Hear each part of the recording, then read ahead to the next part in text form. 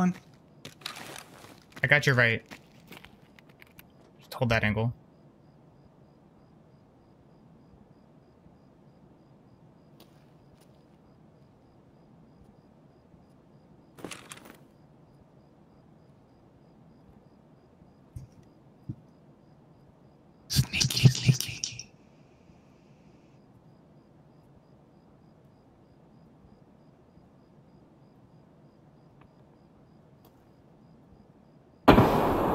Oh, that was so close. Someone's right.